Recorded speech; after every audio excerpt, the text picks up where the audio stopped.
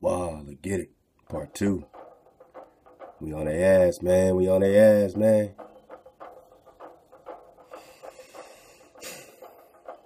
I tell you, when it's good, it's good. When it's real, it's real. We're back in the medieval empire of the Israelites by Robert Grishin. Peace and power to the fam. Love to drop nation. Everyone dropping this drop, man, that we get to get we get to dig on it and get it, man. We talking Copernicus, chronology, talking Fomenko, we're talking Christ's birth. We're talking about the Caesar's Messiah, and we're talking about Israel's Messiah. Now we're picking it up right here, man. And uh, page 55, another investigation is connected with the new star which flared up in the east according to the gospel and church tradition in the year of Christ's birth. All right, we just got in the last part that you know year one is 1053 or 1054 AD. They added a thousand years, so whenever they say year one in Christ's birth, you say, well, which Mashiach are you talking about?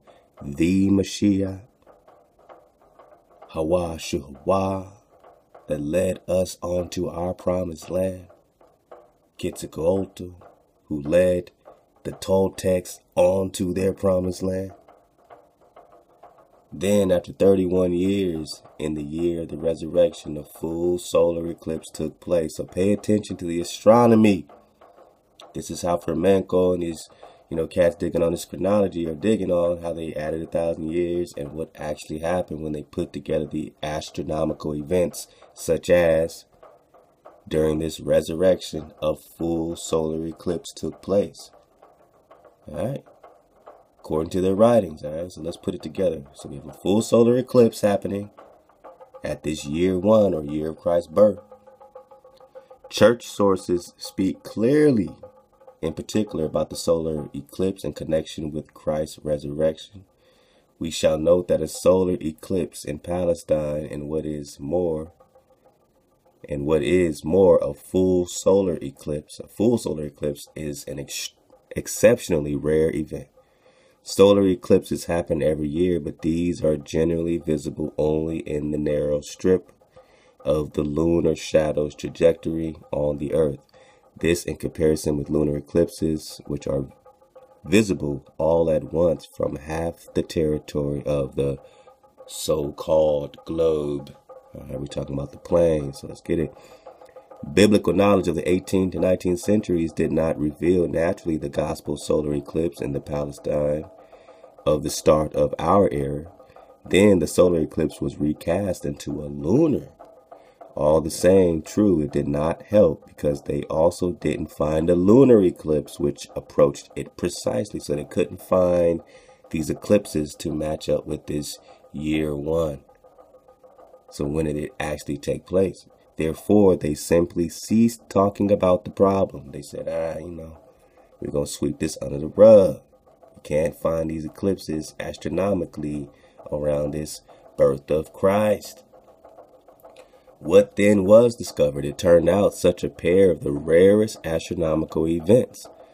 The flare up of a new star, and 31 years later, a full solar eclipse in the Mediterranean really did take place, but only in the 11th century AD.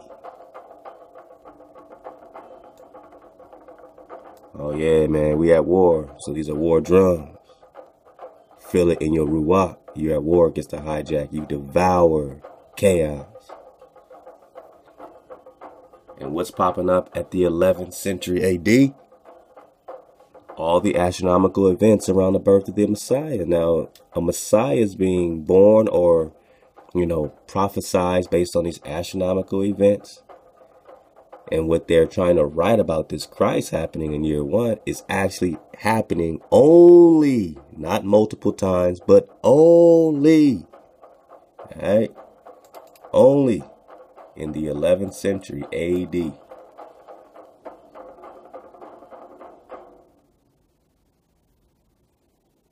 Dig on it. So now we're talking 1054. Now we're talking the birth of Quetzalcoatl, of Joshua, Hawashuhua. We're talking about, you know what I'm saying, what's going on, you know, really across the plane because when you talk about this this energy coming up, they're they're prophesying over there what's actually happening over here. That's their little seers and, and, and, wise, whoever, you know what I'm saying? They're they're putting together, all right, man, we got this Mashiach popping up. He's going to change the game. Remember, Prester John is the emperor of the three Indias. So when you, when the creator sends his people, his his messenger, they take over the board because they come in the power of the creator. And that's what we were getting at in part one in the documentary Caesar's Messiah. Man, love again to to the uh, you know, big bro Vic.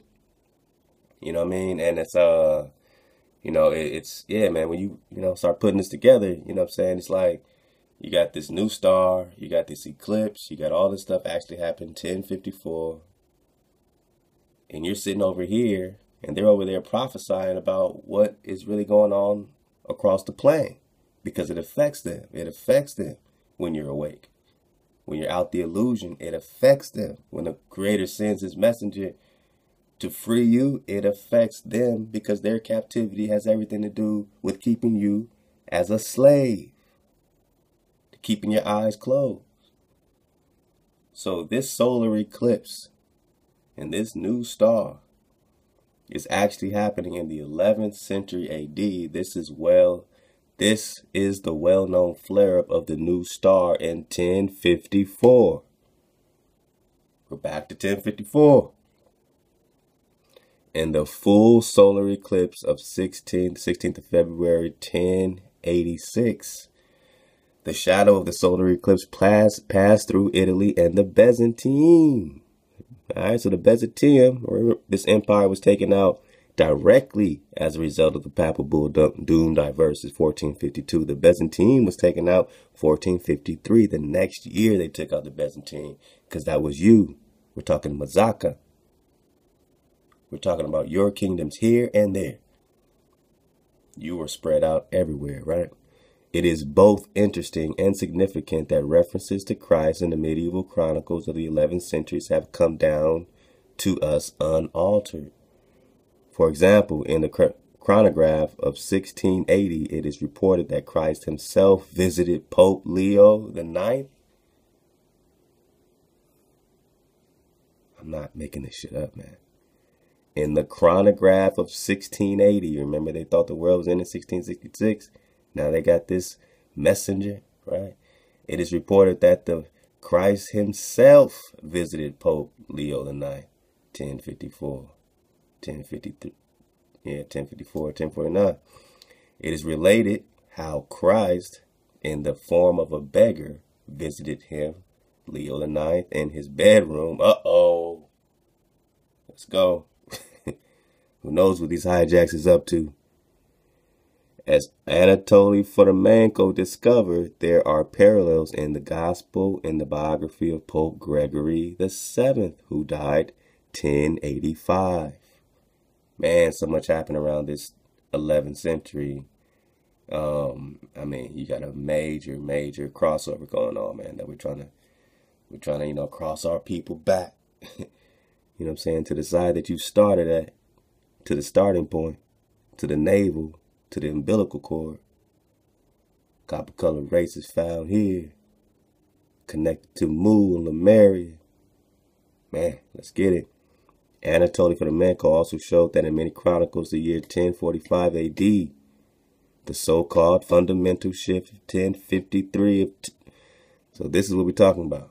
Now, we got in the uh this drop we about to pull back up the Caesar's Messiah. All right, we're on the 22 minute mark at part one.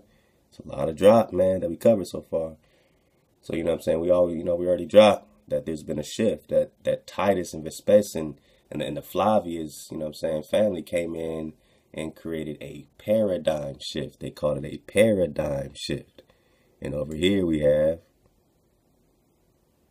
Anatoly Fomenko also showed that in many chronicles, the year 1054 AD the so-called fundamental shift of 1053 years in chronology. So they shifted 1053 years.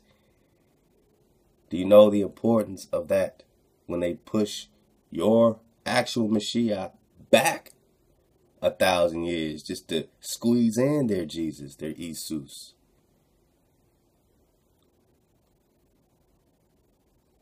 It disconnects you. You think it's so, so, so, so vast, you know what I'm saying, in the, in the past, so far in the past, you ain't even connected to it. Because once you really, once you in the thousands, you start to connect a lot more than if you were in the BCs. Once you know that this happened in 1053, that Joshua Quetzalcoatl, the foundational truth. All this is already here. Where are they getting it from? Their Jesus, their crucifixion. You were already crucified, Negro. They're getting it here.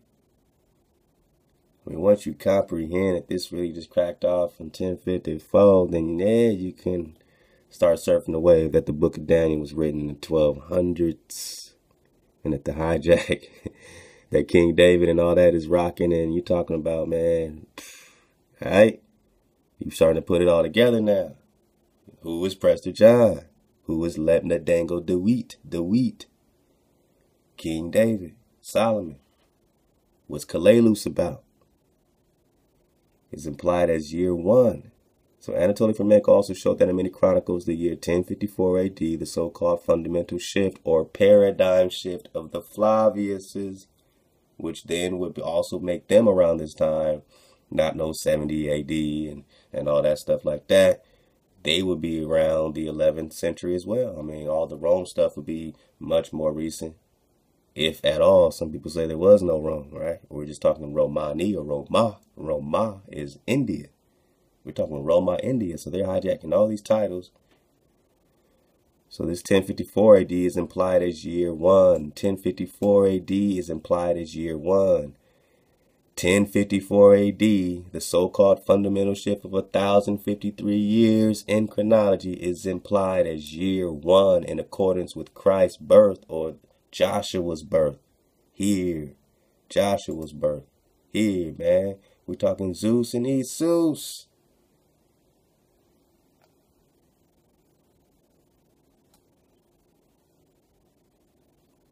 Satan's kingdom is hierarchical. And the evil one assigns his most powerful demons to rule over the various nations. The most powerful demons to rule over the various nations. How are they ruling over you without even having to pick up a sword anymore? How are they ruling over you? Through your religion, through your belief. They got your mind. They got all the various nations' mind through what? Satan's kingdom. Who is that? Satan's demons. Alright? The most powerful of Satan's principalities is called Zeus. Or the Prince of Greece. Zeus plays second fiddle to nobody. Not even Jupiter. Would say, Zeus is Jupiter, is Jesus. Others would say, you know, or or expand on that, you know, with the fact that Jupiter is the son of Saturn. All right, you got to put it all together. So Jupiter is Saturn's son or Satan's son. We're talking Zeus plays second fiddle to nobody.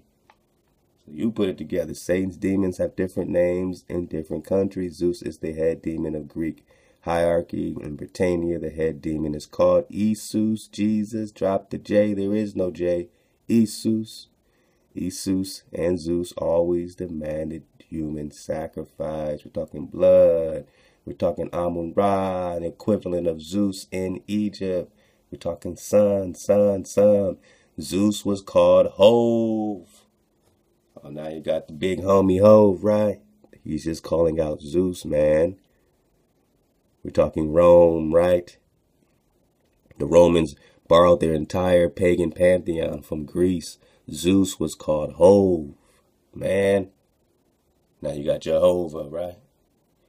And as the father of the false gods, he was also called Jupiter. Bang! Zeus is Jupiter, is Jesus. Jesus is Jupiter. They worship Jupiter. They worship Zeus. Where did that go? You think they just stopped? Give me one example in all of history where heathens just stopped being heathen. Show me one time where just heathens just all repented as a whole nation without the creator. You know, they just say, you know what? We're going to put down Jupiter. We're going to put down our idols. We're going to put down Zeus. We'll put it all down, all the sun worship. Does it make sense that they did that and slaughtered you at the same damn time? Is that the same energy, the same frequency that they will put down idols but then slaughter you? Or would they flip it and say, hey, you guys are idol worshippers, uh, uh, not us. We worship the one Zeus, the one Esus, the one Jupiter, which is Nibiru. Jupiter is Nibiru. Uh oh. The Romans. Uh, so the Romans spread the worship of Jupiter, Zeus, throughout their empire. A profound peace called the Pax Romana prevailed into the region of the mad emperor Ca- Caligula. Caligula. The glorious resurrection of the Messiah took place in 30 AD, ah, which was the 19th year of Tiberius Caesar when Satan's defeat, with Satan's defeat in the Pax Roma, a glorious golden age should have commenced for the entire world, but alas, that was not the case. So in their version, their Messiah, they're linking it with their Titus, they're linking it with their Caesar, Caesar the Christ. And they say, oh, well, you know, according to prophecy, then I mean, it's supposed to be a golden age, right? Oh, it didn't happen. So that must not have been the Messiah. After his expulsion from heaven, Satan took total possession of Caligula. The Messiah began his ministry exactly 483 years after the end of Babylonian captivity. Wow, so if we put that back in our chronology, what is that? We're just surfing away 483 years. All right.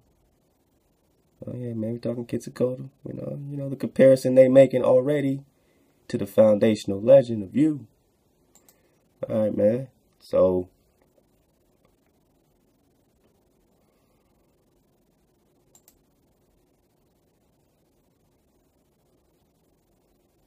The Messiah began his ministry exactly, exactly 483 years after the end of Babylonian captivity of the Jews. We're talking about the Babylonian exilarchs, right? So 483 years after the Babylonian captivity, he began. 483 years after the Babylonian captivity, he began. 483 years. You know, we got. I'm trying to make sure we ain't missing nothing. 483 years after the end of the Babylonian captivity. That's when his ministry began. So it, so it ended, the same 400 years prior. You know what I mean? You know, I'm surfing it with y'all, man. So where would that push this back to?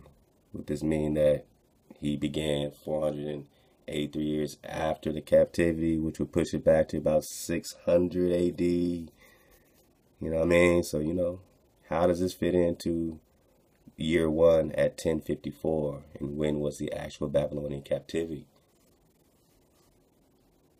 And how was it, you know what I'm saying? Then you start tracing that into the Genghis Khan and the takeover here and the Khan on Khans and all that stuff.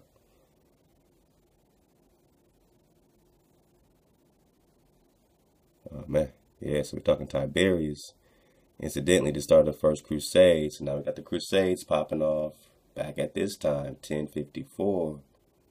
Initially, the start of the first crusade for the liberation of the Holy Sepulchre is dated 1096. On the other hand, medieval churches sources the story of the Savior's passion, Pilate's letter to Tiberius, which describes the events connected with Christ in greater detail then do the Gospels maintain that immediately after Christ's resurrection, Pilate was called to Rome and there put to death, and that Caesar's army was sent to Jerusalem where it captured him.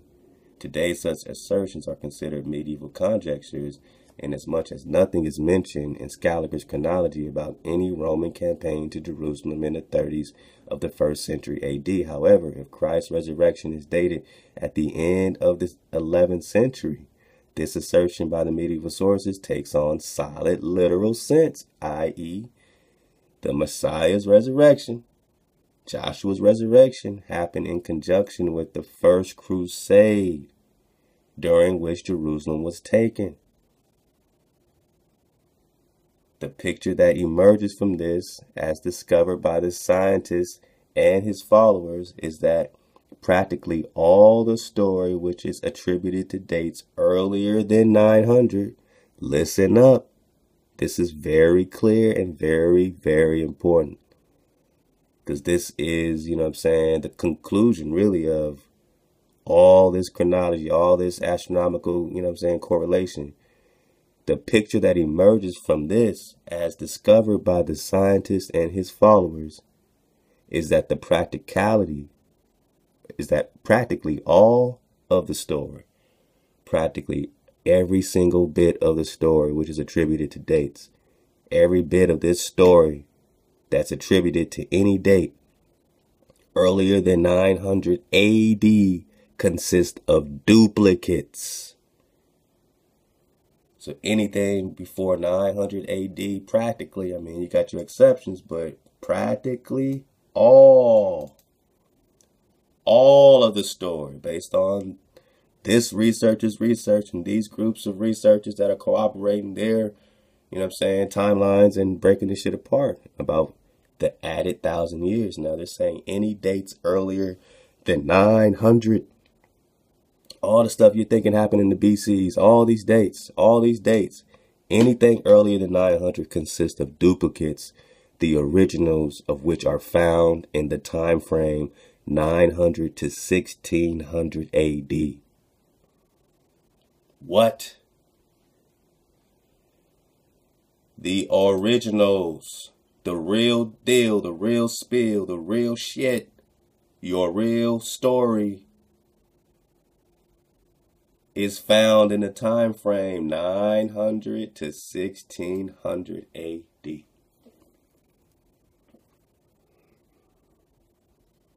And what you're hearing being shipped back into the past, blasted into the past, dumped in different names and different titles and different places are duplicates and phantoms to mimic history to make you feel like you've been asleep longer than you actually have. Wakey, wakey. Eggs and turkey bacon.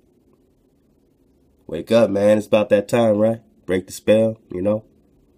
Get original again. OG. Get your kingdom, you know?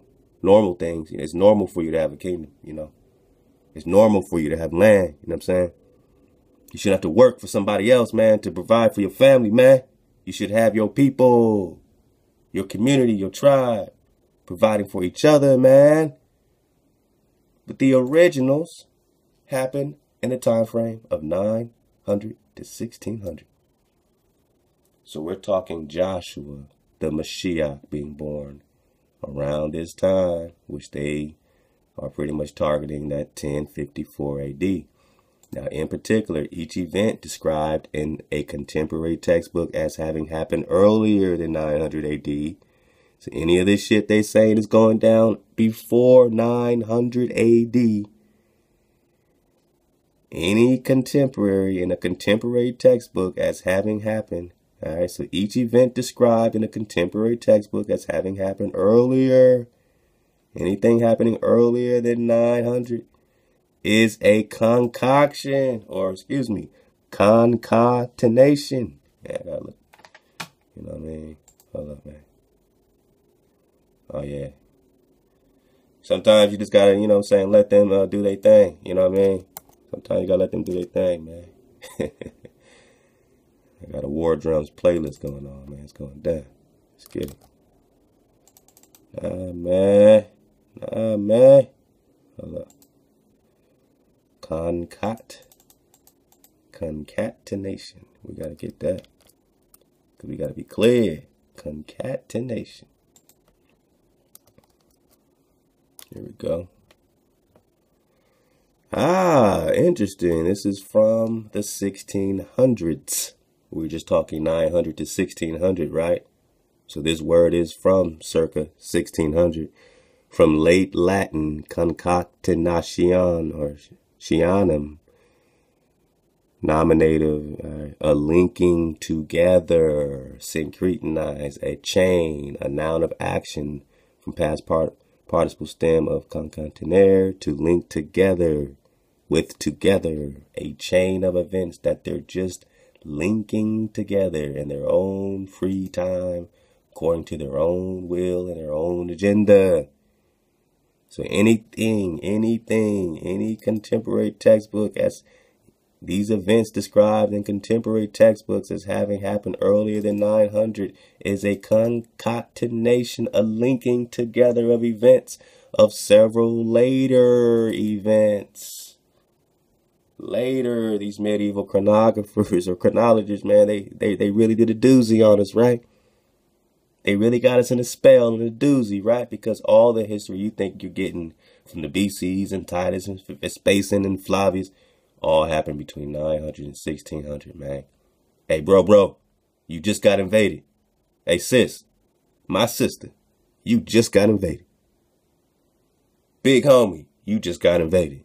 Little homie, just got invaded. In other words, it is a stratified, stratified chronicle glued together, glued together, linked, chained, glued together from pieces relative, relatively connected to each other, practically identical among themselves. Wow. So then it goes into Anatoly Fomenko's investigation, man. So, wow, man, you know, I didn't, you know, I never, never know what I'm gonna uh, start digging deeper into, man. But we're just talking Tiberius in the 15th year of Tiberius, Caesar the Messiah. They're calling Caesar the Messiah or Caesar the Christ. He was called Christ before the Christ you call Christ was Christ. The Messiah began his three and a half year ministry. This was exactly 483 years from the f- first year of Cyrus the Persian. So we can start putting this together according to the 1054, you know what I'm saying? Chronology of Fomenko. After his death, Tiberius was canonized and worshipped as Jupiter, which means he's also worshipped as Jesus and he's called Caesar the Messiah or the Christ. So this Christ was worshipped as Jupiter. Right, right, right, right, right. Jupiter, who was also Zeus. Zeus was called Hove. He was also Jupiter, Zeus. And Zeus is Esus. Zeus is Esus. Jesus, Jesus. And every time you're talking Jesus, remember, you just say, Hail Zeus, Hail Zeus, Jesus, Jesus. All the Spaniards got it right. Jesus, Jesus, Hail Zeus. All right, man. We're jumping back into it, man. We're at the 22 minute mark. Let's get it popping, man. Love again to the fam, man. Victor Mack. There we go. Victor Mack. Love to you, Vic, man. Appreciate you, man, for dropping this drop. Let's go ahead and make it happen. Surf this wave, and you know, I don't know how long the series is gonna be. You know, we're gonna just cover it, man. We're just gonna cover it. If I can find my link, man, I got so much on here. All right, here we go. Let's go. Uh, hold up, hold up. Bureaucracy that was already in place. The imperial cult. Let's go. Which was dedicated to promoting the idea of Caesar as a god. As a god. All right, we just got this. Tiberius, Caesar, Christ, who they call the Messiah or the Christ or God. That's why they said Jesus is God because they want Caesar to be God because they have to be worshipped as God to put you in this type of hijack, to put you in this type of leg lock, you in a straight up chokehold, man. You in a straight up chokehold. Trying to get some air, man. They gotta be worshipped as gods to put you in this type of chokehold, man. To jam you up like this. To give you this type of jam up, man. These people have gone all out. Why? Once you realize they've gone all out, you have to look in the mirror. You gotta look up to your creator and say, wow. So it's true. They went through all this effort all I need is the evidence that they went through all this effort to hide me from me. All you need to know is that they went through all this effort to hide you from you, to hide us from each other. And that should give you all the drop of who you are. Let go. Another part of the puzzle is the Roman imperial cult. Why is it important? Well, because it coincides with that same period of time as the emergence of the Christ cult. You had a whole social community. The whole social structure of these conquered territories um, was governed by the imperial cult. And if you wanted to succeed, the key social community to join was the imperial cult. because that's where all the movers and shakers were. This idea of the emperor becoming an, a, an object of worship was well established in the Roman system before Vespasian and Titus came along. It was prevalent in, in all major centres. It had its own priesthood. There was a ceremony, an annual celebration, annual games for the imperial cult. Now, it had many characteristics which would later colour the Christian cult. It grew in the same centres. It made claims that were later transferred to Christ. The Julio Claudians had claimed that they were of divine descent and that they were therefore legitimate. Their power base was the Roman aristocracy, the Roman nobility. All of that collapsed into this power vacuum. Vespasian was declared emperor by the troops by the Roman army. So effectively, it was a military coup. With the change of dynasty, they have to create a whole mythology to legitimize that dynasty. At the same time, they're creating a whole mythology to counter Jewish messianism. Somewhere along the line, those two things get mixed together. When Vespasian died, Titus began the process of having his father deified. This is a complicated process because only the Roman Senate can bestow on an individual the title of deus or God. Titus came to the Senate and presented evidence that the life of his father had been divine. Certainly, this would have included the military campaign that the Flavians waged through Judea. And it's at this time I think the Gospels were written. Because the theological structure in the Gospels of a God the Father and the Son of God, is the same one that Titus would have been presenting to the Roman Senate. Well, the Roman Senate did accept Titus's evidence, and Vespasian was deified and became a god. Titus, therefore, became a son of God.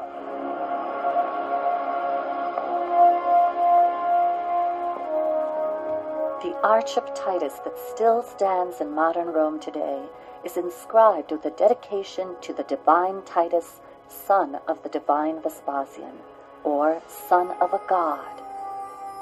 This imperial cult, set up to worship Caesar as god, also provided the basis for the structure of the Roman Catholic Church. Now, the rituals, paraphernalia, and symbols of paganism were transferred wholesale to the Christian church. The most obvious and clear example is where the title of the pagan chief priest of Rome, the Pontifex Maximus, became the title of the Pope, the Christian Pope.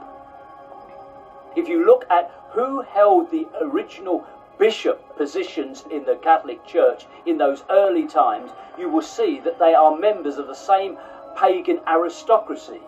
They simply changed their clothing a little bit. They wore the same garments, but they wore slightly different headdresses. They had become from being a priest of a pagan cult to being a priest of Rome. Where the Vatican now stands, there was once a pagan which celebrated the mysteries of a dying and resurrecting God man who wasn't Jesus. There are many churches in Rome, I've been to a few, where you go above into the church and there is Jesus, and you go underneath and there's a little sanctuary of Mithras. Mm. And it's basically the same figure. Whoa. So this is who they were already rocking with before they built the Vatican Church there. They already had a temple to Mithras. Ra, Ra. Let go. So the Roman plot to invent Christianity is just so clever when you think about it. Through the Pope, who is God's representative on earth, They no longer needed expensive standing armies, Hmm. wars, and punishment of disobedient peasants. They could, through religion, rule their subjects. Hijack 101. Over time, Roman Christianity propagated throughout the empire by way of the mass media of the day, the Roman roads. The Romans must have approved of this new religion because, as some scholars ask, if the Gospels really were Jewish literature about a Roman sentenced criminal, why wouldn't they have been destroyed? One of the really surprising things for me was to realize the extent of Roman control of propaganda and of literature. So that when you suddenly get all of this Christian literature arising in this period, one has to ask, well, how did that happen? The conclusion that one has to reach is that that could not have happened without some degree of complicity uh, on the part of, uh, of the Romans. So that uh, one is led to the conclusion that the Romans must be involved in the production of this literature.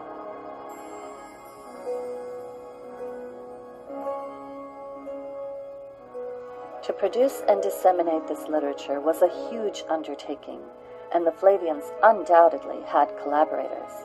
We know they were funded by the wealthiest family in the world at this time, the Alexanders, a Jewish family who served as Rome's tax collectors in Egypt. Like the Herods in Judea, the Alexanders had strong motivation to keep the Jews' messianic movement from threatening their position and their wealth. One of their family members was Philo of Alexandria, a famous Jewish theologian who was already writing works that combined Jewish beliefs with the modern Greek and Roman pagan beliefs of the day. Many scholars agree that his writings form the basis for much of the philosophy of Christianity. In these pages is uh, practically every concept that you can find within Christianity. He combined Greek philosophy and he took that and he combined it with Judaism. On top of that, he was from an extremely wealthy family. And this is important because you have to follow the money when you're looking at major trends, new paradigms being set. And if you look at his family, then you start seeing, uh, well, this is interesting because now we're, starting to come across the Flavians again. His relatives were very involved with the Flavians. That whole area is where we want to look very closely for the Christian origins. It's from exactly this same circle of people that you get the first signs of Christian ideology, and they all lead to the rise of the Flavian dynasty. Another wealthy, influential character, Princess Bernice, was from the Herod family in Judea. She's the granddaughter of Herod the Great, a product of the Herod's intermarriage with the conquered Jewish ruling messianic lineage. Princess Bernice appears in the New Testament, which makes her an interesting character. She had two or three husbands and then became the mistress of Titus. So you can see this again, rather like dynasty here. You know, powerful people, mixed marriages, you know, shacking up with the conqueror. Um, yeah, and it's really where Joe Atwill takes his idea of a conspiracy to write the New Testament. But let him say it in his own words. Bernice was a Herod related by marriage to the Alexanders, and of course later she became the mistress to Titus. The fact that she was so closely linked with the Flavians shows you that the three families were very unified in financial, romantic, and likely theological issues. By the looks of things, this coalescence seemed to have brought about a dynamic that led to the synthesis of Judaism and paganism and eventually became Christianity. So th- this is a very key time period. I believe that the Gospels were actually written under the control of the Herods, the Alexanders, and the Flavians. These families had the motivation to create Christianity, and with the expertise in Judaism that the Alexanders and the Herods had, they had the actual technical ability to come up with these stories that are fulfillment of Hebraic prophecies. So it seems the Flavians had the motivation, the means, and the collaborations through which they likely constructed and began disseminating Christianity. And if our scholars are correct, one of the documents they left behind are the Gospels themselves. I began working on the study of the Gospels in the 1970s, and I look at texts in terms of how were these composed, what does understanding their structure tell you about who wrote them, and why they were written. These texts were not independent Jewish texts, but they were created as literary works using classical literary models. If we expect that this is the testimony of witnesses, we've got a major problem. We actually have four anonymous documents. They were not written by the named people on those documents. Mm. This is simply church tradition that the Gospels are so named according to Mark, according to Matthew. So this idea that the, the Gospels are reliable testimony is patent nonsense. Why are the Gospels called Gospels? That's a critical question. the word gospel in Greek is evangelion, and it means good news of military victory. Wow. Whose military victory are we celebrating here? Wow. Good news of military victory. Hijack 101. So this is the new test. So whose military victory, man? I mean, King James came with this new test after colonizing your ass. Is that a military victory? When King James issued two patents, two companies, Plymouth and London Company, with longitude and latitude to colonize you in America in 1606. Was that good news of a military victory? And is that why we got the 1611 popping up? Here in these Gospels. Well, seems to me that we are celebrating clearly the Roman military victory because these events, the uh, Battle of Gadara, the Battle of the Lake of Galilee, the successful Battle of Jerusalem, these are battles that the Romans won. I mean, can we surf the rave? I mean, is this really all a, a King James affair, man? The Flavius and all this? Is this all connected? I mean, all the real history happened when? All the real history happened when? Between 900 and 1600 AD. Practically all of the story, all of your history, which is attributed to dates earlier than 900 AD, consists of duplicates, fakes, frauds, illusion, trickery. The original, the real spill of which are found in the time frame 900 to 1600. So when they're writing about their victory over you and you're just hearing about it in 1611, what victory just happened? And what is the real spill, man? What's the real spillionaire? Why are the Gospels celebrating battles that the Jews lost if these things were written by the Jews? The fact that the Gospels are known to us in Greek and, and not in uh, uh, Aramaic or Hebrew is, I think, just evidence of, of their authorship. They were not written by any followers of Jesus who would have surely spoken Aramaic, and if they had been fishermen and simple folk, they would not have had the literal skills to write them anyway. If we look closely, there actually are clues in the Gospels that point to who the true authors were. A lot of the Christian literature advocates turning away from the Jewish law and obeying Roman law. Well, this, this fits perfectly into Roman propaganda purposes. And then you have, in general, the portrayal of Jesus as the peaceful Jew who is wandering around in what is depicted as sort of pastoral scenes, talking to fishermen and farmers and so forth, when in fact, this is a war zone. Judea is a war zone. And you ask yourself, well, why is it not portrayed as a war zone?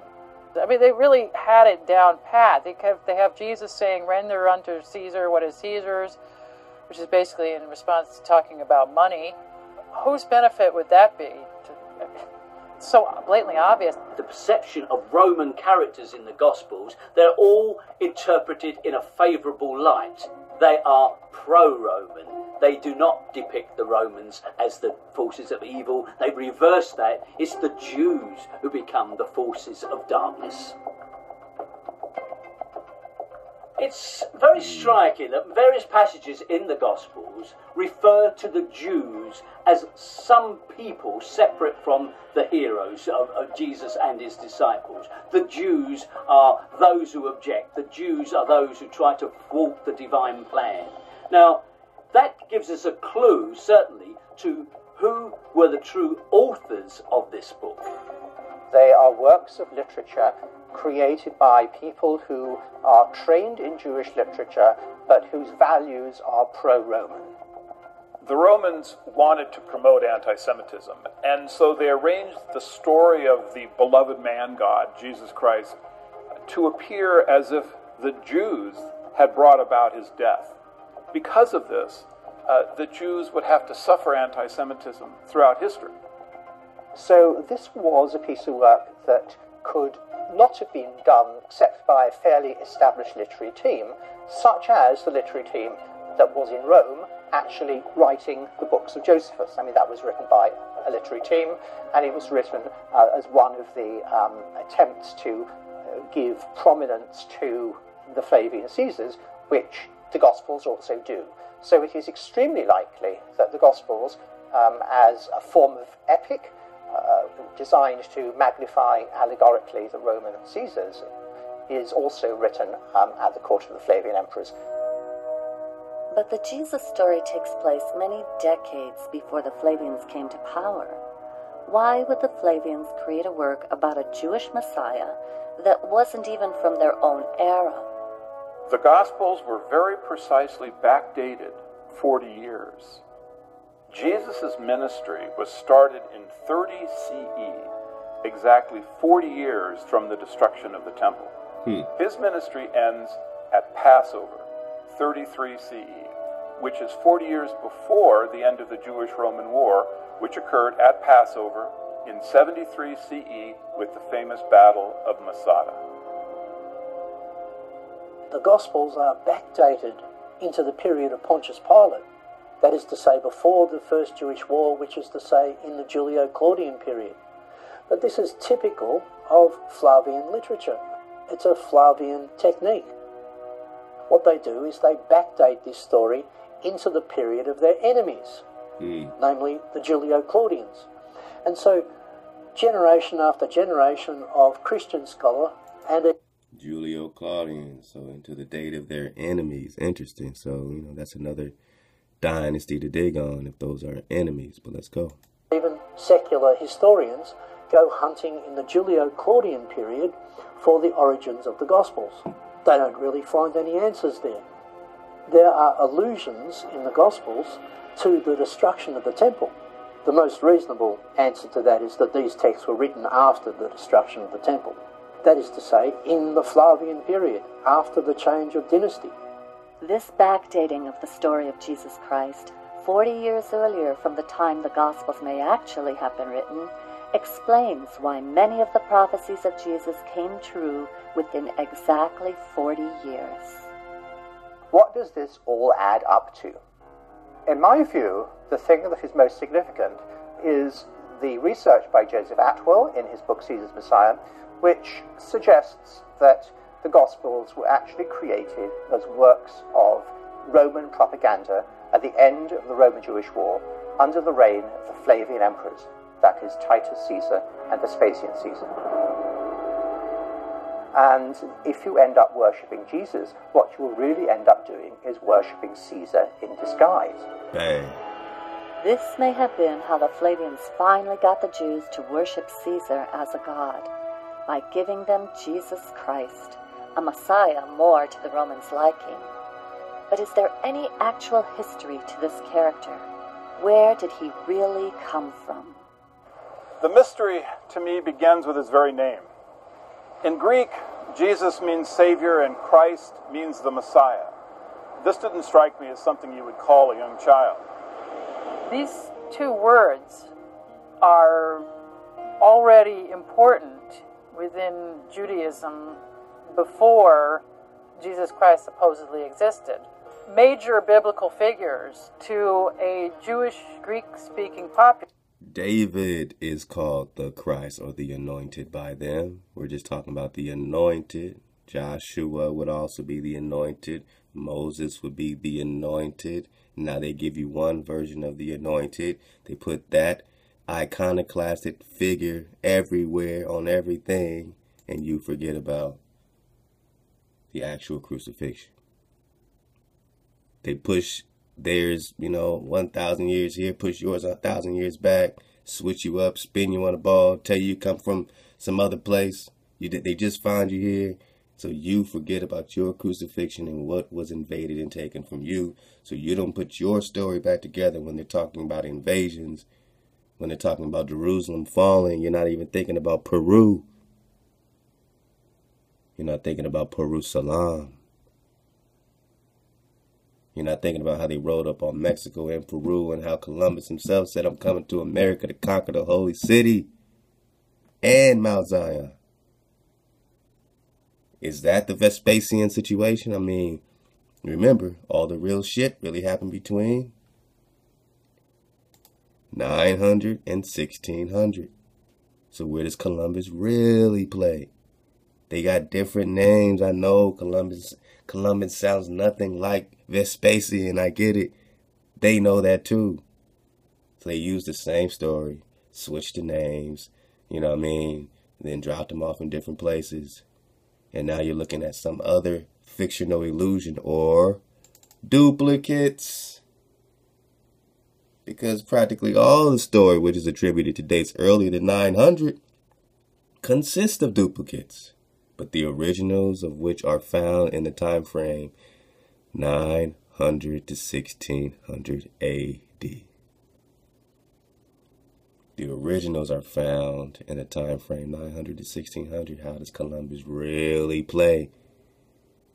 And did we take that story and then create more history by duplicating the Columbus story in the invasion of you? Are you the original? Is your invasion the original?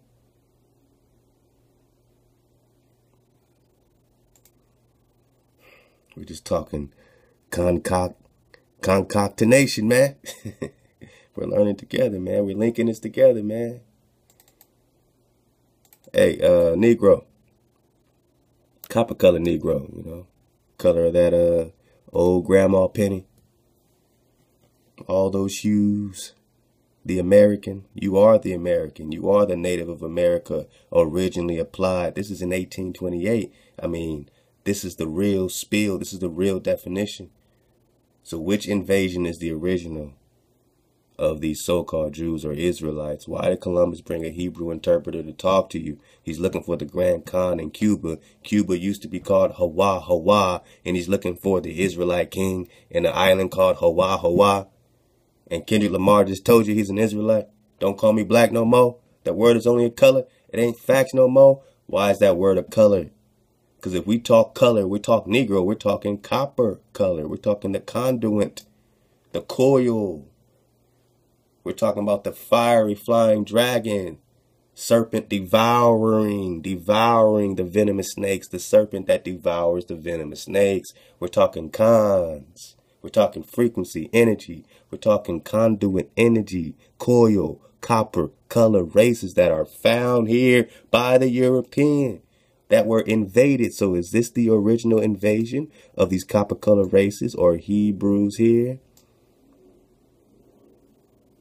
These copper colored people don't care about being American no more. They think they come from Africa. They don't care about their actual invasion. They're stuck in 70 AD. Man, you know, we got invaded in Jerusalem way over there in 70 AD, but now I'm here, see? Deuteronomy 28, 68 will be taken here in ships and brought some. Nah, you was taken from here in ships and brought to Africa. You was taken from here in ships and brought to Europe. Brought back to Egypt. Brought back to bondage. Copper colored races. You were in Babylonian captivity. We have Babylonian exilarchs. We're talking priest kings. We're talking Prester Johns. We're talking David. We're talking David the Christ or David the Mashiach. We're talking Joshua or Hawasha Hawa We're talking the copper colored races that were found here.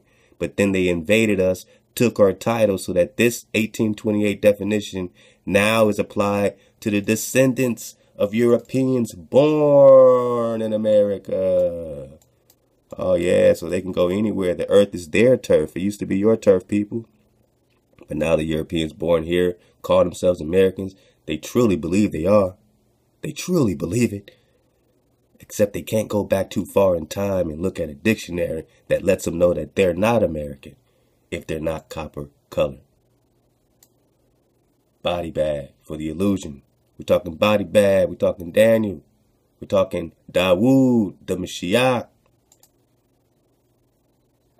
Would already be called Christ. Bang. Their ears would already be acclimated to accepting this this title. That so it isn't just a, a unique name of a, a, single person who that just suddenly popped up. Hmm. What did we actually know about Jesus Christ the man? I don't think that Jesus can be historically defended. I don't think there's any evidence that we can extend to that particular Jesus. So when you actually set out to investigate the historical Jesus as opposed to the Christ of faith, you very abruptly enter a void. You find that whereas you might imagine the core details of Jesus are readily known and accessible, you actually discover there's no such thing. Nada. Further, there had never been any archaeologic evidence of Jesus Christ that had ever been discovered.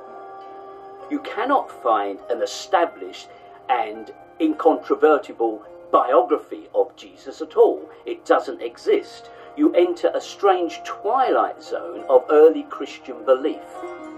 What we have here is, is not a movement that's grown on the accretion of legends on an, a real flesh and blood man, but instead the the development of a religious movement around the idea of a man. There isn't even an actual physical description of what Jesus looked like anywhere in the Gospels. The presentation of the Jesus character, it's somewhat of a composite of many messianic leaders of the time. Many messianic leaders of the time, most or all of whom came to a bad end, usually by crucifixion because crucifixion was the Roman punishment for seditious activity. Crucifixion was their punishment, was the Roman punishment. Crucifixion. So many of the Mashiachs at that time were taking L's, that were taking L's, was happening by crucifixion anyway. And they said there's no there's no description of this hijack. Man, We're just talking Zeus. We're definitely talking melanated celestial beings like Europa, melanated celestial. We're talking about their hijacks are all melanated. We're talking celestial, but their creations aren't necessarily melanated. I don't know if they can always duplicate the melanin. I don't think that they can always duplicate the original. But that's for another topic and another time. You know what I'm saying? Yeah, you know, you get in Revelations, you know, the the feet of feet of brass and the hair of wool and all that and all that. But you're talking about the gospels. Alright. Well let's get it, man. So last time we got it on this piece, so you know what I mean, before we get back in the piece, so there's a uh, cool little comment, man, from the homie nine uh x x x x x x x x x. All right. So what's up, nine super X? He says Muhammad is Ibn Ibn al Arabi. We're gonna get into this Arabi a little bit. So, who was born in Spain 1211? Remember, the real history happened when? Between 900 and 1600. This applies to Muhammad too. So yeah, you heard, you know, he was born in 500, you know, 600, something like that. Yeah, all right, all right. Or we got to do the or now. That's how we digging. We surfing the wave. We throwing the question now. I'm not coming at you like I know something. You know what I mean? I'm coming at you like, hey, you know, here's some very, uh, you know, instru- interesting linkings. You know what I'm saying? This is linking up in an interesting way. And how does this apply to us as copper colored people? So Muhammad is Ibn al-Arabi, who was born in Spain in 1211. All right, so fam is saying that the real Muhammad, the surfing away, Ibn al-Arabi was born in Spain in 1211 and traveled to North and West Africa with his philosophy and gathered many followers. Islam was created in 1889 in France by the Vatican. We're going to dig on it, you know what I mean? This is not just for us to, oh, prove it, you know? Just just dig on it, man. You put this in, you start recounting this. If you care about it, you know what I mean, you're going to recount it for yourself because no one has to prove anything to you. You got to dig on it yourself if you really want to get this drop. If you really want to surf this wave, you got to, you know what I'm saying, dodge all hijacks. You got to be committed to dodging all hijacks, man. Put your theory out there. From day one, we've been putting our theory out there. No matter what you said, we put our theory out there, and here we are still linking up the same foundation. All praise Allah together. Alright? So here we go. So Muhammad is Ibn al-Arabi, born in Spain, 1211, and traveled to North and West Africa with his philosophy. So he gathered followers in North and West Africa. Islam was created in 1889 in France by the Vatican to control the Turkic and Arab tribes they conquered during World War I with the destruction of the Ottoman Empire. So after World War One, these Turkic and Arab tribes they created Islam. Remember, you know what I'm saying? They're they're creating these uh you know, it's all stemming, you know what I'm saying, from a way of controlling these people without having to, you know, use any more war. So they create to control these people Islam surfing the wave in 1889 in France, Vatican. All right, to control the conquered Arabs during the World War One with the destruction of the Ottoman Empire. They took Psalms and the Gospels and combined them. That is called syncretinizing. That is called linking it all all up in one pot, right? So they took Psalms and they took this Gospels, right? this hijack, and they combined it. So they had a little bit of drop in it, which is what you relate to when you get into this stuff. These religions, you relate to the drop. You're like, there's some drop in here. I didn't really look too deep.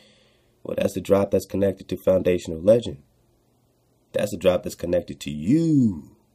This stuff was created on you to control you. Without the sword, it's psychological warfare. It's a frequency war.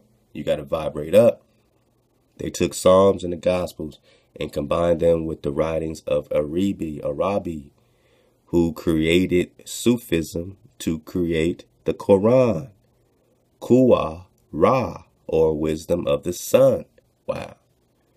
So Quran, brother saying is Kuwa, K-U-A dash Ra. We're just talking Ra.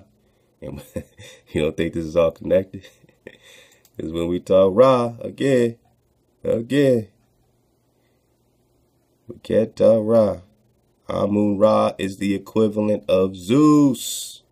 So you're talking the same deity, the same sun deity, the same energy, the same hijack, the same what? Magic spell. Breaking the magic spell at last. The most powerful Satan's principle principalities is called Zeus. His most powerful goon is Zeus. Remember, Zeus is the sun. Jupiter is the son of Saturn or Satan. Saturn, Jupiter is the sun. This is amazing, man. Good shit right here, man. So, so the writings of Arabi, who created Sufism to create the Quran, Kuwa, Ra, or wisdom of the sun. So Ra, sun, Zeus, all the same. Same hijack. So we get at one, we get at both. The first Hajj was in 1927. You dig on it. I don't know. You dig on it. All right? You tell me it's the first Hajj was in 1927. And the first time Islamic scholars and and such met was in 1922. That's why when one reads old books, they are called Mohammedans or Mahometans. Remember, we got the Baphomet connection with all this. Not Muslims or Islamic. Muhammad means one worthy of praise. All right. So again, it's kind of like Christ. It just means you're worthy of praise. Titles, titles, titles.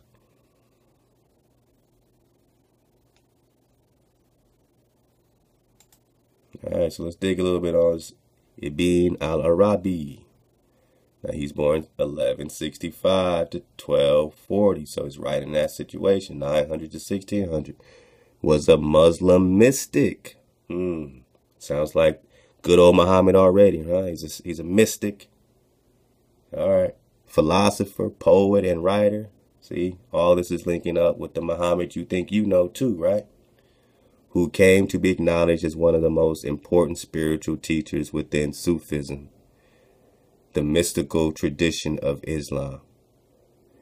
Ibn Arabi was a prodigiously prolific author. Wow, so he wrote a lot, huh? Like the Quran, Quran, Quran.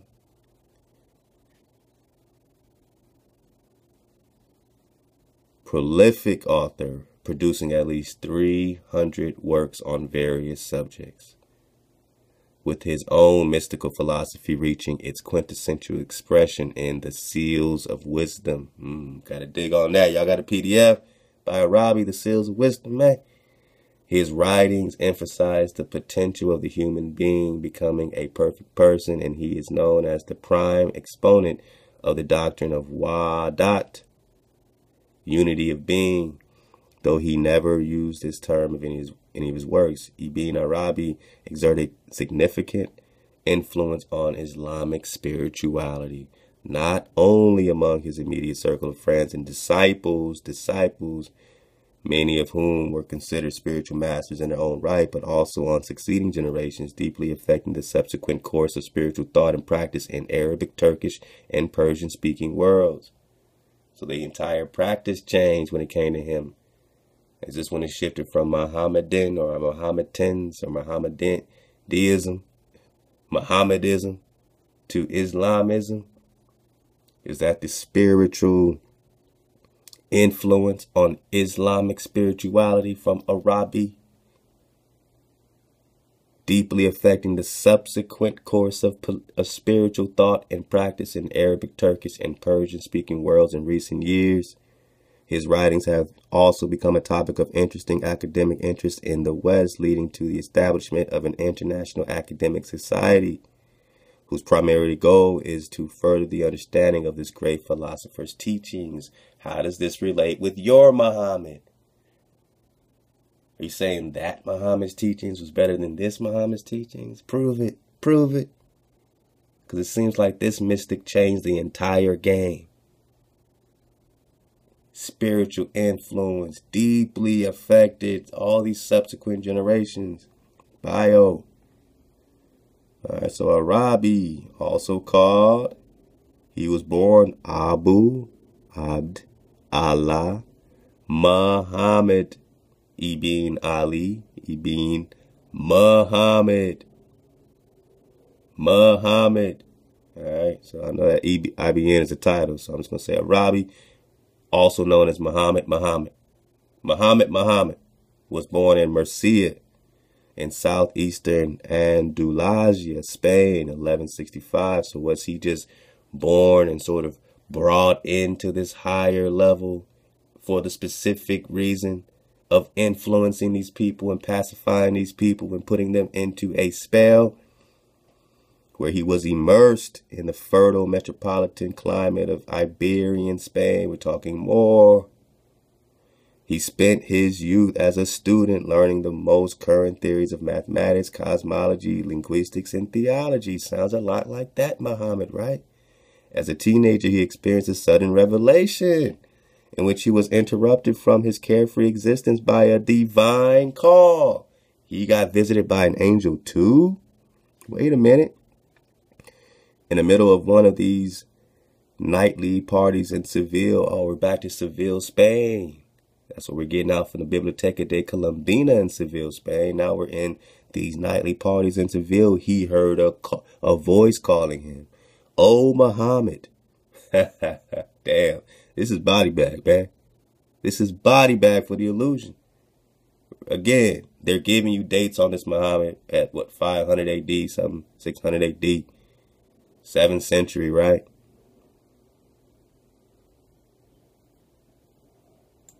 And we're doing our own, you know what I'm saying, linking. They're linking, we're linking.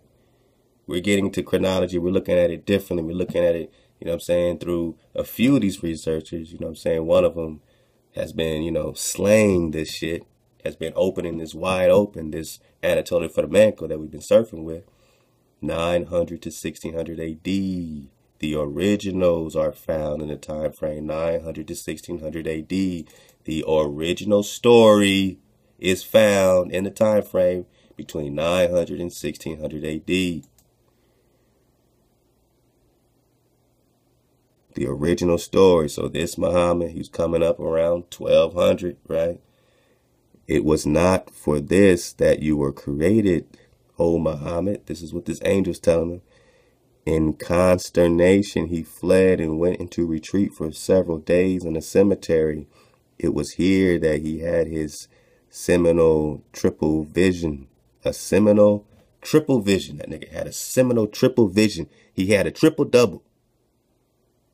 10 steals, 10 assists, 10 points. Let's go.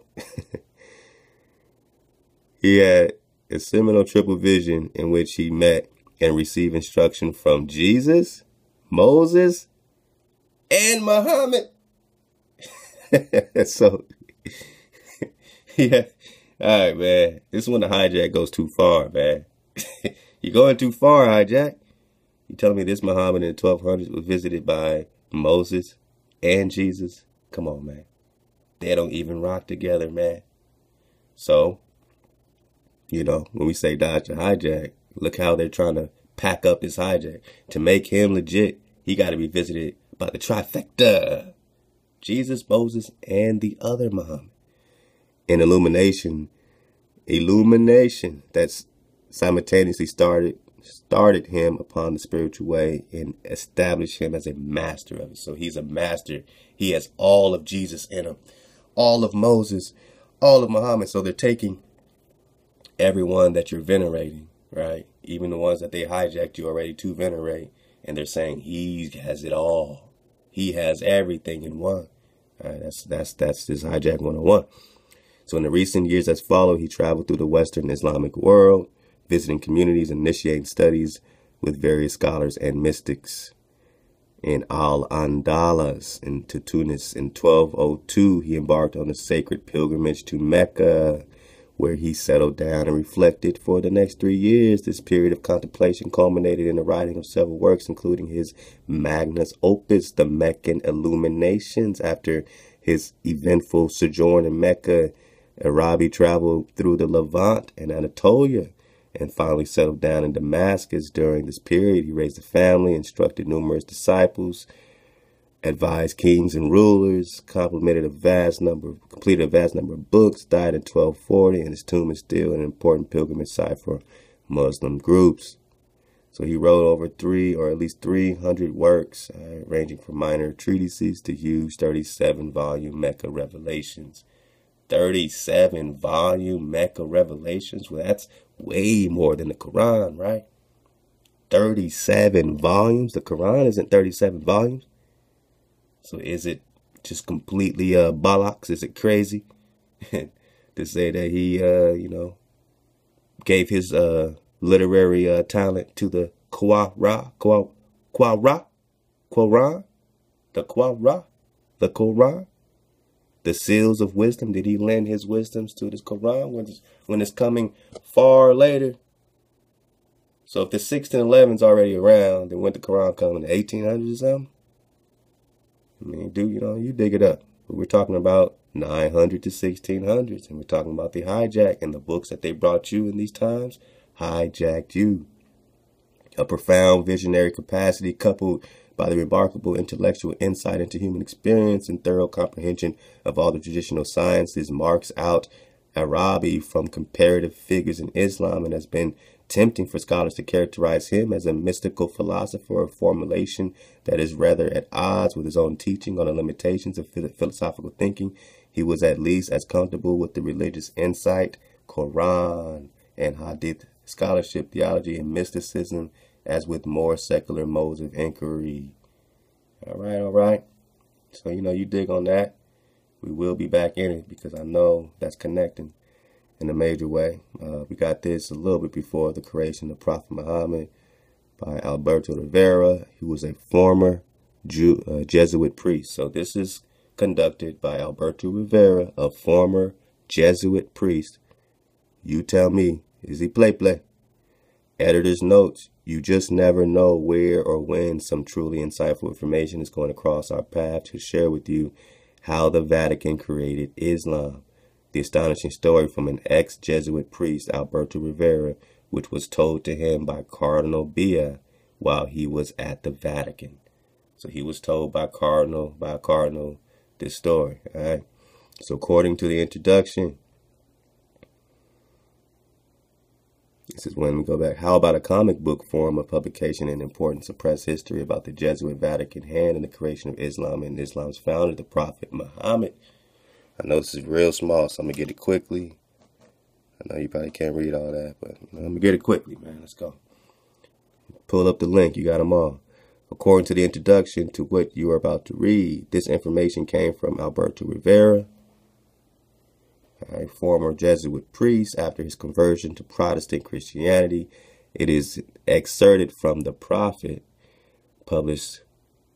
Uh, it has other publishing stuff. All right. So since his publication, after several unsuccessful attempts on his life, he died suddenly from food poisoning. Man, his testimony should not be silenced. Dr. Rivera speaks to us still. So he was killed. All right.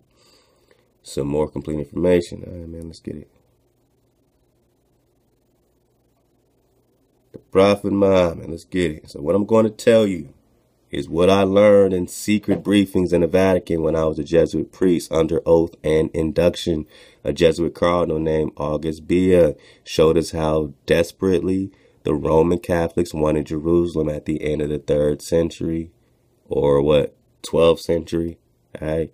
Because of its religious history and its strategic location, the holy city was considered a priceless treasure. This holy city is referred to America. Columbus said, I'm coming to the holy city to con- coming to America to conquer the holy city.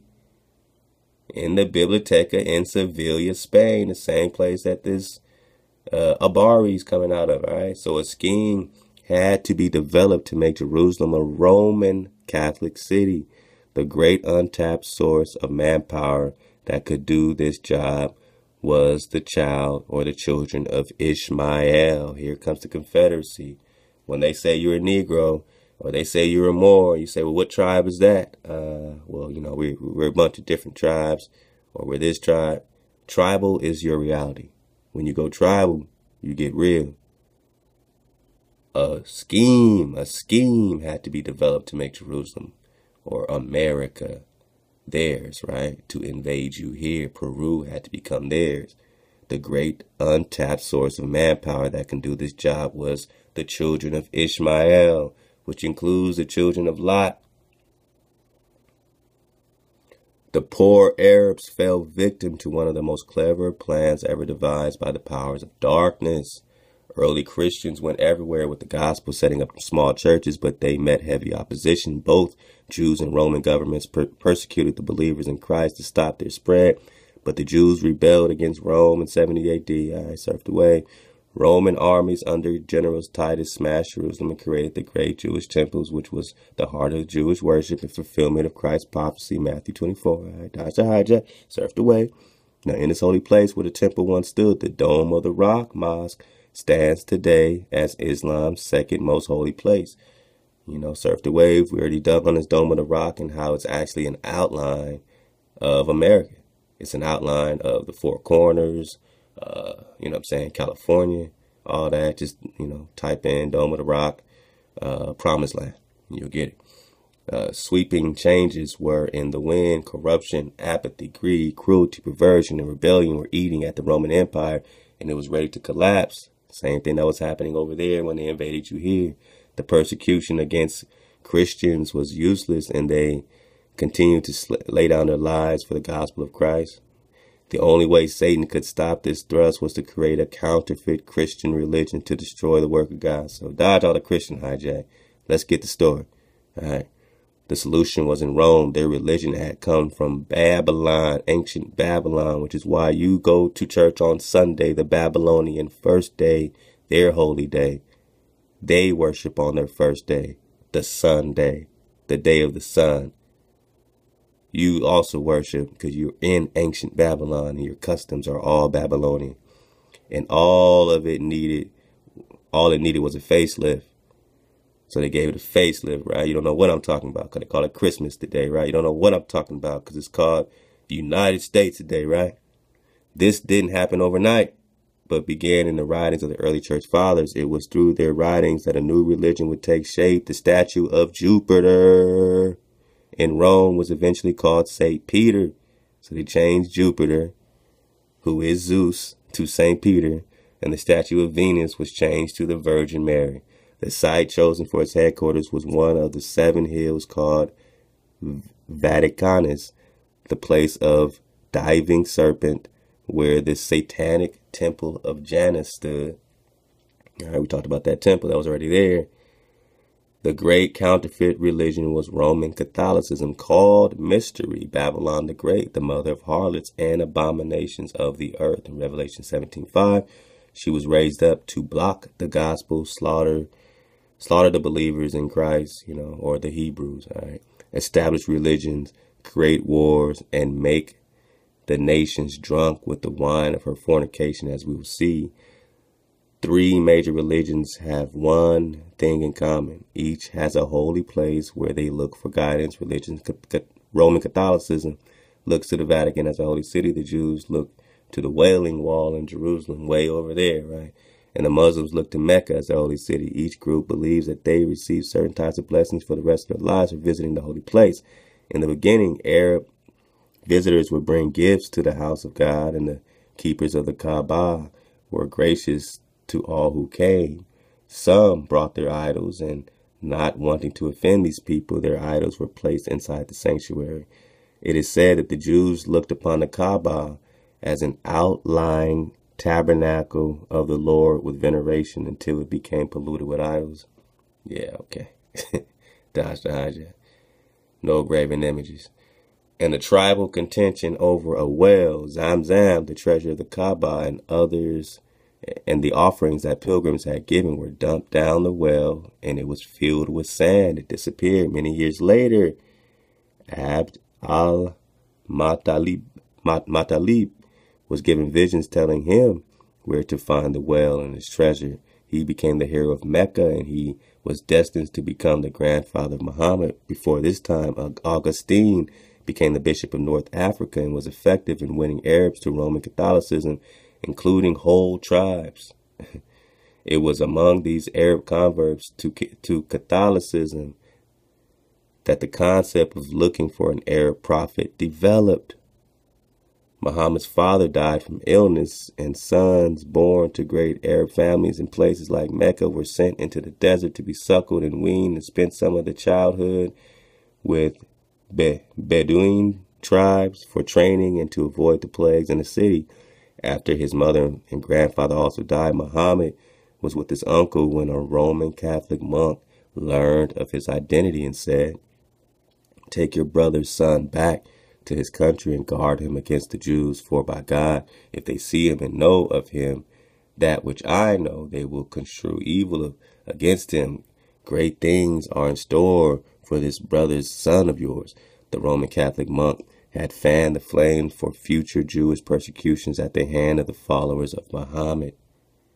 The Vatican desperately wanted Jerusalem because of its religious significance, but it was blocked by the Jews the Hebrews. Another problem was the true Christians in North Africa who preached the gospel. the true Christians in Africa. Okay. Roman Catholicism was growing in power, but would not tolerate opposition. Somehow the Vatican had to create a weapon to eliminate both Jews and the true Christian believers who refused to accept Roman Catholicism. So we're talking about what? Nestorians. Looking to North Africa, they saw the multitude of Arabs as a source of manpower to do the dirty work. Some Arabs had become Roman Catholic and could be used in reporting information to leaders in Rome. Others were used in underground spy network to carry out Rome's master plan and to continue to great multitudes of Arabs who rejected Catholicism. When St. Augustine appeared on the scene, he was he knew what was going on. His monasteries looked as bases to seek out and destroy Bible manuscripts owned by the true Christians. We're just talking Hebrew. When they say true Christian, they're talking Hebrews. They're talking Israelites. The Vatican's wanted to create a Messiah for the Arabs. They wanted to create a Messiah for the Arabs. Some someone they could raise up as a great leader, a man with charisma, charisma who they can train. And We're talking about Ariba, Araba, and eventually unite all the non-Catholic Arabs behind him, creating a mighty army that would ultimately capture Jerusalem for the Pope. Dumb Dum Diversas, 1452, Papal Bull. They captured you here, subjugate all these Saracens, and they called you pagans. They called you pagans, right? Take away their kingdoms, dukedoms, principalities, put them in perpetual servitude. That's your capture, and you're reading about it. So we know the hijack, we know our chronology. Let's go. In the Vatican briefing, Cardinal Bea told us a story. A wealthy Arabian lady who was a faithful follower of the Pope played a tremendous part in this drama. She was a widow of Khadijah. Khadijah. She gave her wealth to the church and retired to a convent but was given an assignment. She was to find a brilliant young man who could be used by the Vatican to create a new religion and become the Messiah for the children of Ishmael. So when they try to convert you today, Hebrews, Israelites, they're looking for their Messiah. Muhammad is the created Messiah for the Ishmaelites. You're not of that tribe. Their Christ is the anointed of the Greeks. You're not of that tribe. Who's your creator?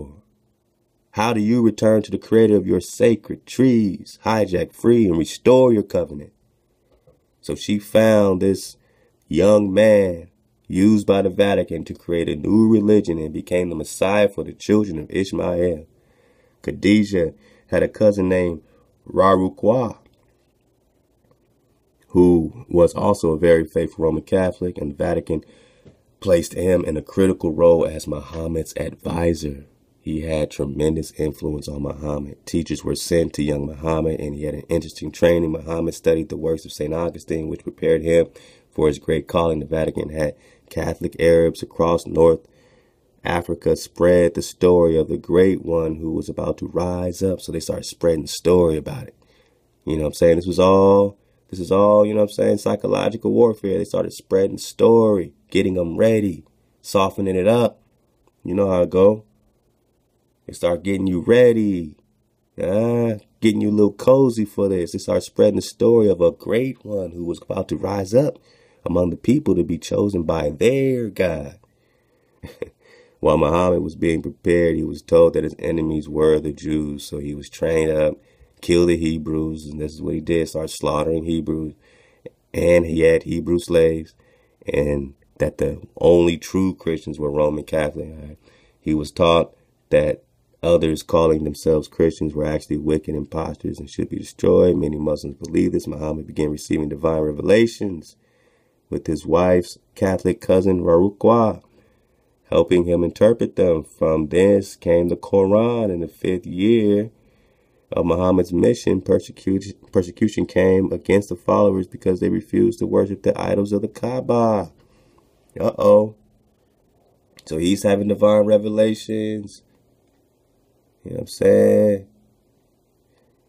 You know what I'm saying? You got this this this revelations happening with this Arabi.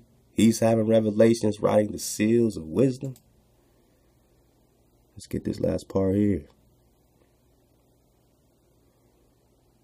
Muhammad instructed some of them to flee to Abyssinia, Prester John of the three Abyssinias, where Negus, Naga, Nega, Negus king, the Roman Catholic king, accepted them. Uh, so they're hijacking your Negus. They now they calling you niggas, but they hijack niggas because they know it meant king, the Roman Catholic king. They say we're talking Abyssinia, which predates Ethiopia, which is only talking about a a region of dark skinned people.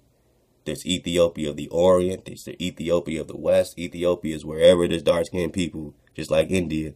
Wherever there's dark skinned people, India.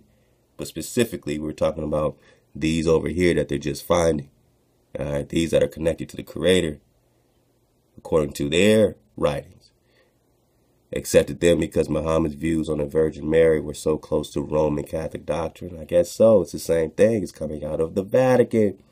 These Muslims received protection from Catholic kings because of Muhammad's revelations. Muhammad later conquered Mecca and the Kaaba were cleared of idols History proves that be- before Islam came into existence, the Sabians in Arabia worshipped the moon god who was married to the sun god. They gave birth to these three goddesses who are worshipped throughout the Arab world as the daughters of Allah. An idol excavated at Hazor in Palestine 1950 shows Allah sitting on the stone or on the throne with the crescent moon on his chest. On his chest, Muhammad claimed he had a vision from Allah and he was told, You are the messenger of Allah. This began his career as a prophet, and he received many messages. By the time Muhammad died, the religion of Islam was exploding. The nomadic Arab tribes were joining forces in the name of Allah and his prophet Muhammad. So the whole plan worked, right? Right? Because remember, Khadijah, his cousin, looked to find this young man who could be used by the Vatican. So now that they got someone to use, they spread the good news. Some of Muhammad's writings were placed in the Quran the Quran. Others were never published. They are now in the hands of high ranking holy man. All right. So we read back in these cardinal the situation. You know, Cardinal Bea shared this information with us in the Vatican. He said these writings are guarded because they contain information that links the Vatican to the creation of Islam. So you got Cardinal Bea himself telling you, sharing the information that these writings of Muhammad are guarded because they contain information that links the Vatican to the creation of Islam. Wow.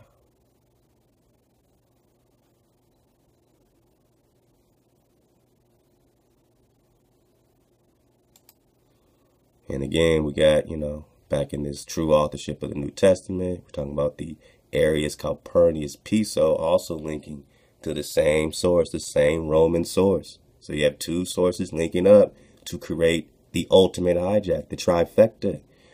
You know, they're just trying to hijack tribes. So they'll take your tribe, see what's close to it, and hijack it, create duplicates, put you to sleep, get get you to do something passive so that you're not going against them no more.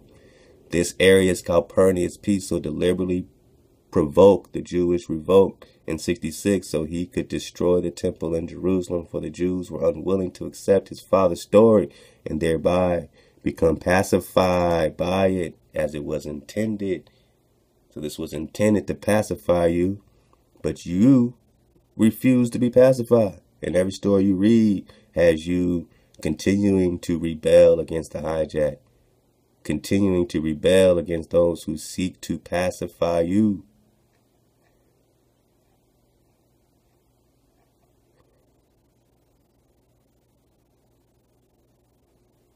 The Pisos searched for a solution to the two problems they found it in the Jewish holy books, which were the foundation both for the rapid spread of the religion and for the zealots' refusal to be governed by Rome's puppets. The Pisos mocked but marveled at the Jewish belief in their holy book or the Hebrew belief. Therefore, so they mocked it, but they marveled at it at the same time. Hijacks, right? Therefore, they felt a new Jewish book would be the ideal method to pacify the Judeans, Judah, Utah, Ute, Aztec, and copper color race found here to pacify you and strengthen their in-laws' control of the country. Wow, in-laws, huh? About the year 60 AD. Hijack, Lucius Calpurnius Piso composed Er Marcos, Marcus, the first version of the Gospel of Mark. Man, which no longer exists. You can't even find it no more. He was encouraged by his friend Seneca and assisted by his wife's kinsman, young Persius the poet. Nero's mistress, later his wife, Papias was a pro-Jewish, and and Nero opposed the plan. So they wrote it in more of a pro-Israelite way, and now it doesn't exist. The result was the Pisonian conspiracy to assassinate Nero, detailed in the historian Tacitus. So some wanted to give a little more drop. Now they're getting assassinated. But this attempt failed when he aborted the plot. Instead, Nero had Piso and Seneca and their fellow conspirators executed by forcing them to commit suicide. Wow. So he forced the Piso. Nero had Piso. He forced them to commit suicide. Man, so all this was going down to try to try to protect the what? To try to protect the who? The great secret.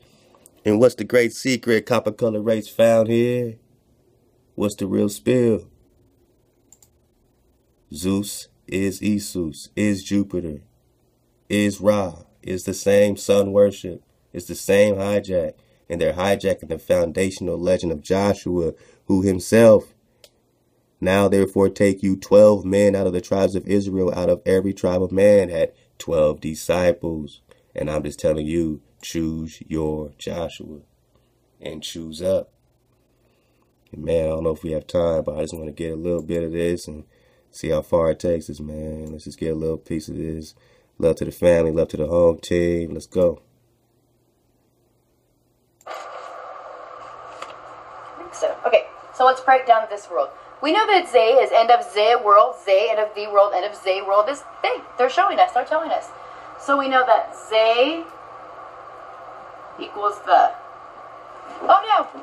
Equals the. Okay? And then we know that Bub means the bull. Okay? You can just Google it. The Bub Ranch, Bub Bulls. It's a specific type of bull. Mm. A black one. Mm. Black. Got it? So, and then we've got Baal, Baal, Baal, Zebub, Baal. That's pretty easy. So, with the Baal, with the Baal, Baal, Zebub, we've got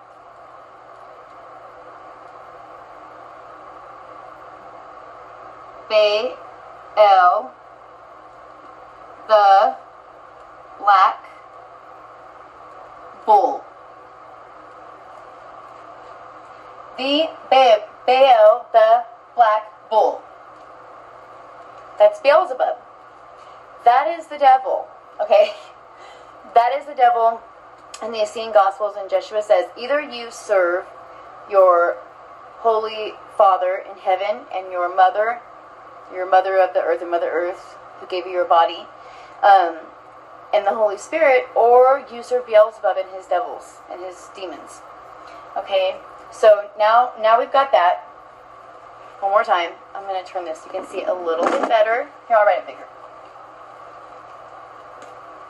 So what i am contending is that this spirit this beelzebub actually moves through human bodies. And this jezebel female character later on was it says that she was the daughter of Baal, just like kind of how Jesus is the son of God. Um, uh, Jezebel was carrying the soul of Beelzebub. Okay? Mm. So we've got Baal. You know, they went to the temples of Baal and, and they destroyed his temples, and they, people came and said, Well, we're going to send you to death. And he said, Paul, Paul he said, Hey, if Baal is God, let him come strike me dead and then they didn't, and then they all tore, you know, he didn't, and then so they all tore everything down. Now you think you're spinning on a ball. So you've got BL, BL, BL, Zebub. So you've got Baal. Can you see it? Oh yeah, that's pretty big. Z. Bub. Okay and that's Bill the Black Bull. Melanated. Hebrew is super easy. Mm. It's like a language of symbols, so it's actually easier than English. The Black Bull. People have seen this bull. Okay? People in my family have seen it. My daughter saw it with red eyes when she was little. And always has the glowing red eyes. And I never told her that story in my family or anything like that. I never told her scary stories like that. So, um, and then, um, so we'll let's look at we'll just say, for all intents and purposes, I'm just to say Jesus, but let's just get it